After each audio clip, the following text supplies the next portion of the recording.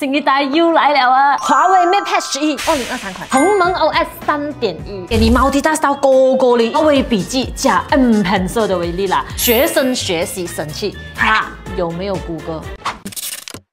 我真的觉得我开箱过很多台 Mate Pad，新一代又来了啊！华为 Mate Pad 十一，这个是二零二三款。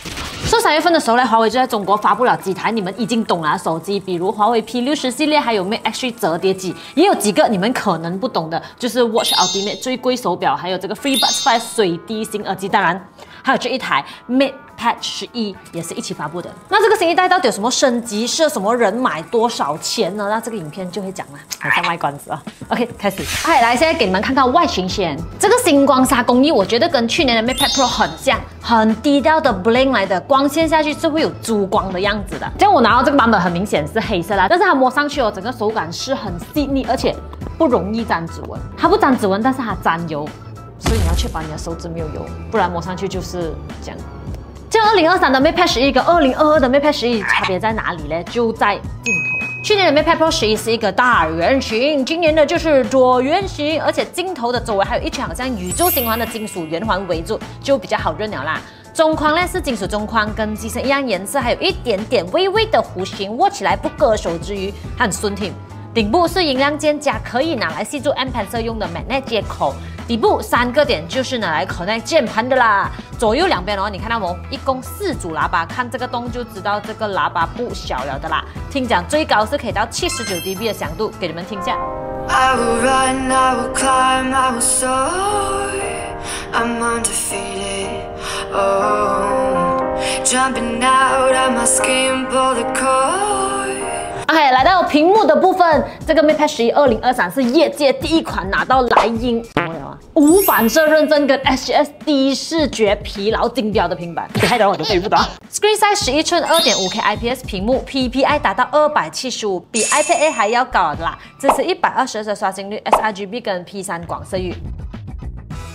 这边要特别提一下，Mate 十一二零二三其实它是有两个版本的，一个呢就是我拿着的普通版本，另外一个呢就是叫做质感柔光屏版本。简单来讲呢，就是比较护眼，还有反光比较少的，看起来就很像纸张的那个屏幕质感，就是对眼睛比较好的一个屏幕啦。但是 Malaysia 目前只有这一个普通版本，那个质感柔光屏不懂有没有进啊？基本上可能公会变，不懂。So 这是 Mate Pad 十一二零二三最大的升级，我觉得还是在系统上面，鸿蒙 OS 三点一上面的新升级功能真的特别好用。第一个智慧多窗，这个我讲过很多次了啦，给你 multitask 到高高里，一边上网一边做东西，一边用 calculator 还可以一边找照片，同时间可以做最多四个东西，千手观音都不够我忙。第二，超级终端，平板、手机、电脑全部可以 sync 在一起用，一个 button 就可以把手机的东西拖去平板，根本不需要拿起手机。是很方便的东西来的。第三，PC 级别的 WPS 真的很好用的哦。那不懂你们有没有发现，那这电脑上面用的 WPS 永远都比手机、平板上面用的 WPS 更多功能的哦。现在 Mate 十一有了 PC 级的 WPS 之后呢，配上一个键盘。直接变成了一个小 PC。你平时在电脑 WPS 怎样用，在平板现在就怎样用啊？比如各种功能，窗口随处悬停，窗口自由缩放，多窗口操作，键鼠交互，而且还可以处理更加复杂的数据表格。第四，华为笔记加 M Pencil 的威力啦。一个平板加一支笔是真的可以做到很多东西的，堪称学生学习神器。你给你们不知道，这一支呢就是 M Pencil 二点零，来到第二代了啦。怕你们不知道，它盒子里面呢是有附送的一个笔头可以换的，所以一共有两个头，一个是透明的，一个是白色的。白色摩擦感比较强，很适合拿来写字，体验感会比较好。透明的就很滑啦，用久了也不会累的那一种。你们就看看情况适合用什么就记得换啦。这边我要给大家一个很激动的。小事就是苹果之前不是给 Apple Pencil 二点零更加一个叫做笔尖悬停的功能吗？一开始我以为 iPad Air 上面也会有了，我就马上去 test，结果发现只有在 iPad Pro 上面最新的那个 iPad Pro 啊才有。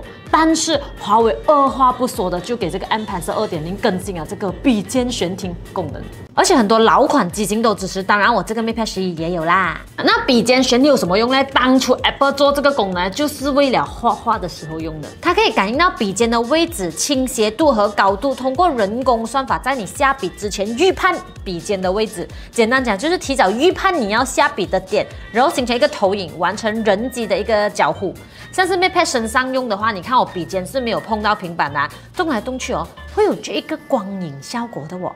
我的笔哦就好像光源，就好像在帮这个 logo 打灯诶。同样在选择 False 的情况下，因为悬停的关系，平板在预判我会点击哪一个啦？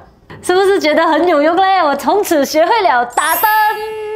没有啦，其实这功能正确是使用在画画上面的。所以这个 M Pencil 来到第二代了啦，我觉得它的写字手感啊，其实都已经是很顺畅了的啦。我前面也是有讲过了的，你可以用笔 highlight 你想要的内容，然后拖过去隔壁那边。如果是照片或者 logo 也是一样，会自动识别变成文字。这个时候你想要做笔记，就可以这样直接画图做 marking 啦。写错了，哎呀，长按屏幕就变成 eraser 了咯，一抹就可以。录音的话呢，按右上角麦 logo 就可以直接录音。五的时候呢，就跟人哥吃饭，吃完饭之后我们就要去。以后你可以开回来，一边看诺基边听录音，学习的记忆全部含不啷啊，把把声翻晒来了。不要用 pencil 的时候就塞在机身上面，我觉得粘到很紧一下，这个 OK。第五，中转站这个功能，我记得我之前也是讲过，我自己特别特别喜欢，很有用。它就像一个 store room，给你暂时存放东西，看到想要用的照片你就 select 起来，drag 去中转站，然后打开你的 WeChat，从中转站把东西拿回出来，你就 send 回出去了啦。而且哦，你就算没有清理，你明天起床中转站的东西还在的哦，一直有用到的文件照片放在这边，真的可以省很多时间。第六，share share WiFi。其实平时你带平板出去哦，要么你就是连外面的那种 public WiFi，不然你就要自己从手机 personal hotspot 给这个平板，其实很麻烦的。Mate 十一跟手机连接之后呢，可以把手机的 data 借给平板呐，是借啊。这样平板呢就可以不用靠 WiFi，就直接上网、send message、打电话等等啦。电池方面，七千两百五十毫安，充电速度是二十二点五瓦。虽然充电速度真的不是说很快了，因为就中规中矩，但是现在七千多电池是真的很耐电的。我就拿它来看了两个小时的散汤，它的电池也只是掉了十八 percent，我觉得算是 OK 过关的。最后的最后，我知道你们一定想问我，它有没有谷歌？Hello friend，人家用 App Gallery 很很久很久很久很久了啦，里面一样可以导入到各种的谷歌类的 App 啦，比如说 Gmail 啊、Google Meet 啊、YouTube 这一些的。所以你不要再问我到底有没有谷歌这样子的东西啊，没有。价钱，那这一台 MatePad 十二零二三在马来西亚只有一个价钱，两千块不到。一千七百九十九，六加一二八的存储组合，反正我就觉得这一台 MatePad 真的是特别适合上班族或者是学生党的人。首先，它的屏幕就是很护眼的啦，可以长时间拿来写笔记啊、看文字啊，都比较不会累。再来就是鸿蒙三点一里面的那些功能哦，是真的很实用一下的，就很适合，很可以满足到喜欢毛地大小或者是可以快速完成工作的人。好了，今天的 MatePad 十二零二三开箱就到这边结束。下一次想看我开什么，可以留言告诉我。我们下次再见。拜拜。